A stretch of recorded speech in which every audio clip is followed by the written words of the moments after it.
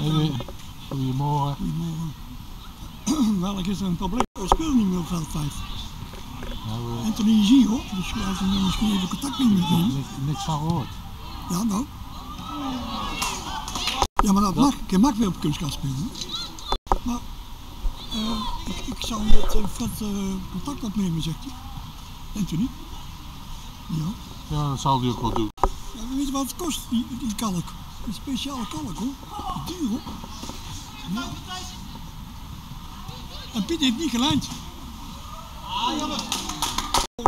Ja, Ongetwijfeld. oké. En ons bij eh, eh, E, nee, F2 is door in de beker. Oh.